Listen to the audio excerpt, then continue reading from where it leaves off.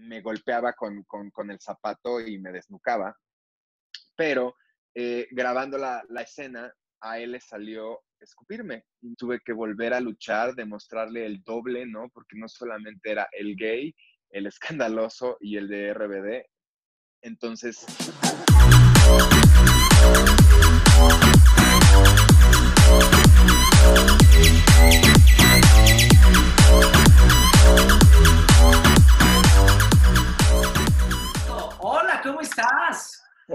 Este, muy contento, muchísimas gracias por, tus comentarios, de verdad es que es algo que, se siente de corazón y pues muy contento, muy contento de poder estar platicando un rato con, contigo y pues muy contento con la reacción de la gente en la Casa de las Flores, la verdad. Creo que tú le diste un sabor completamente diferente a lo que nosotros vimos en la 1 y en la 2.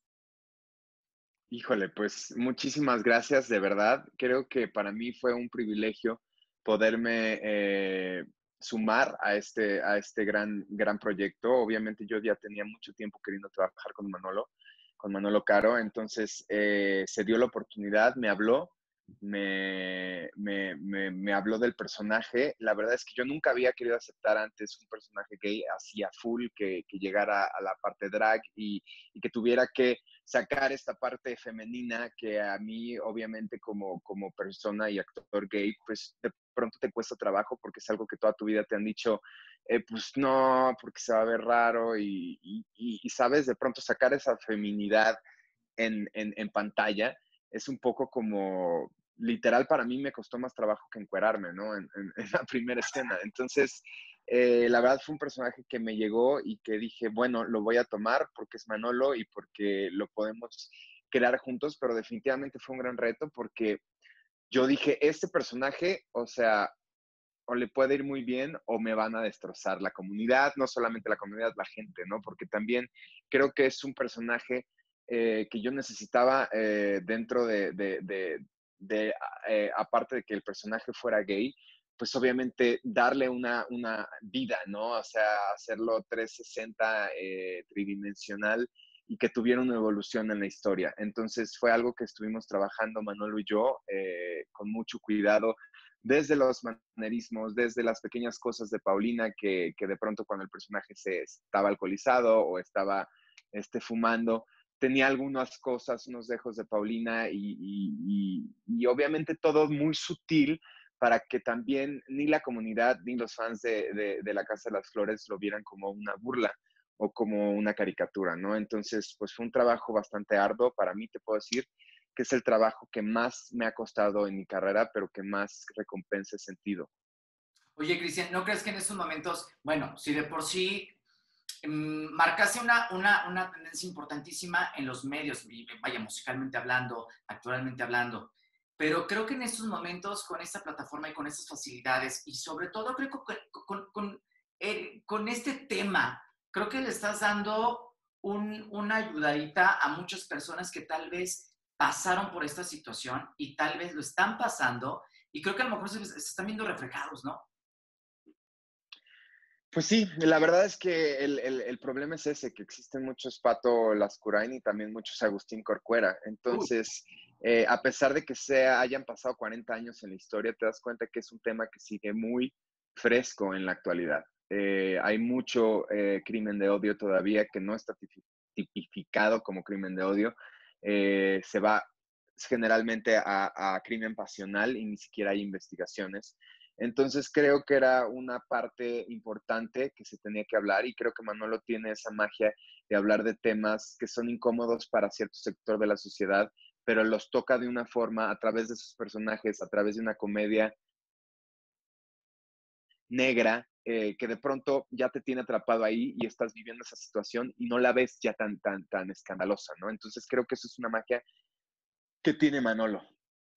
Oye, ¿te imaginaste que en estos momentos íbamos a estar platicando y muchos de los medios de comunicación íbamos a estar platicando acerca del personaje de Pato? No, no, la verdad no. Este, la verdad es que un día antes del estreno de la serie, obviamente mensajeándome con Manolo y era así, ¿estás nervioso? Y le digo, sí, güey, estoy súper nervioso. Eh, hablé con mis papás y, me, y les dije, pues miren, yo no sé qué vaya a pasar, ya saben cómo es la gente de pronto en Twitter, Y bueno, yo había tenido un, un, bache grande en mi carrera, ¿no? Entonces, eh, yo dije, no sé, o sea, yo estaba esperando, ya sabes, a que se fueran troleando así gacho, porque no, no, había visto más que el primer capítulo y pues no sabía cómo se iba a desarrollar la historia y lo más importante es, es, ya hacia el final, ¿no? Entonces, pues sí tenía como mucho, mucho miedo, ansiedad, pero dije, bueno, pues hay que dar esos saltos y la verdad es que estoy impresionado, impresionado, impresionado, me ha tocado el corazón los mensajes que me han mandado, gente que muchas veces ni siquiera fueron mis fans, ¿no? Que ni siquiera eh, me seguían o, que ni siquiera me arroban en los comentarios, pero hablan de Pato y del mensaje de Pato y la verdad es que eso para mí es, es un aliciente maravilloso y también es una forma de decirle a la gente que si, si la has pasado mal, si has tomado malas decisiones, si sí se puede volverse uno a levantar, sí puedes volver a, mostrar otro lado de, tu vida. Y creo que ese es un mensaje muy importante porque eh, es el poder de reinventarse, ¿no? Que es una conferencia que también yo ya eh, estuve creando y que, bueno, ahorita por la onda del COVID lo tuvimos que parar, pero es parte de eso, esa es mi vida, o sea, me tuve que reinventar eh, tuve que volver a luchar, demostrarle el doble, ¿no? Porque no solamente era el gay, el escandaloso y el de RBD. Entonces, tuve que luchar a contra, contra marea, ¿no? O sea, tuve que darle y de pronto no me prendían ni, los, ni la cámara en los castings o me recibían y pues, no, no, no, no le echaban como no, no se me daba mucho, ¿no? Entonces, la verdad, estuve casi cinco años, te puedo decir que fue un proceso difícil hasta que alguien como Manolo eh, confió en mí y, y, bueno, ahora está pasando todo esto, pero para mí es importante pasar ese mensaje a las personas que pueden estar deprimidas o decaídas o decir ya lo perdí todo y ya no hay forma. Bueno, yo soy la, la prueba fehaciente de que si le echas ganas y eres constante, sí vuelven a pasar las cosas y vuelve a haber más. Pues mira, en la música, la verdad es que yo siento que cumplí eh, mi, mi, cometido en la música. Eh, la verdad es que creo que es una, es una industria eh, muy respetable, pero muy, muy cansada y muy solitaria. O sea, estás de un lado a otro, de un lado a otro, de hotel a otro.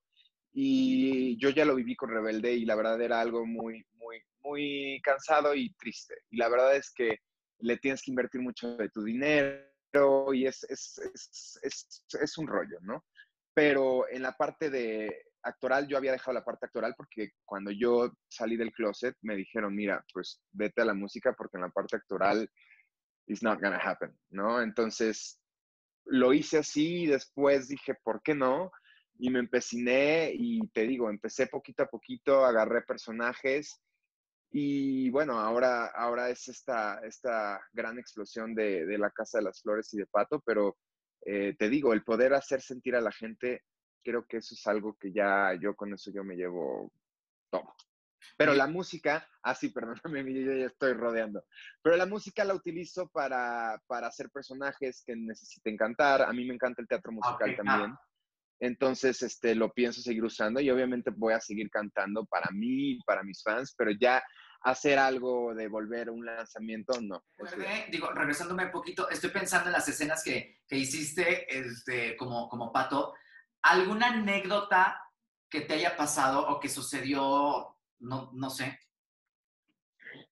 sí, bueno, varias, varias anécdotas, pero una que de hecho lo pueden ver en, en, en mi Instagram Stories, que es, era una caída que yo ya había hablado mucho y Manolo la puso eh, íbamos bajando por las escaleras y yo ya bien perra, ya sabes, el personaje con uñas y bla, bla, bla, y el pelo y bailando. Y de repente, en los últimos ocho escalones, ¡pum!